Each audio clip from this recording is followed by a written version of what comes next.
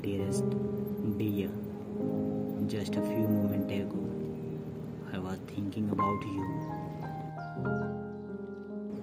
and all the great things you have done for me. I want to take this opportunity to thank you. So, here it is God.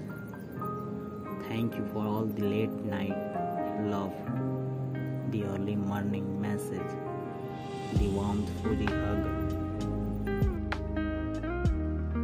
and the sweet melting kisses. Thank you for the listening ear and the advice filled with wisdom, without which I would be lost. Thank you for removing time from your busy schedule just because I wanted to talk to someone.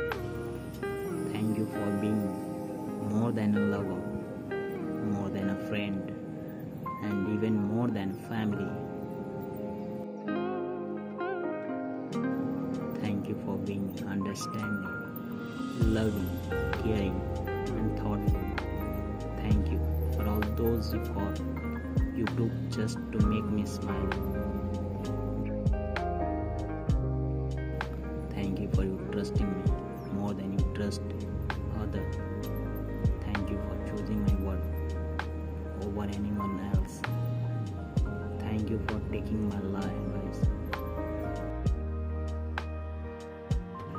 Thank you for taking my advice and making me feel like what I say matter to you. Thank you for not judging me, just loving me. Thank you for tolerating my bad habit, being patient with me. Thank you for not giving up on us even when things got really tough.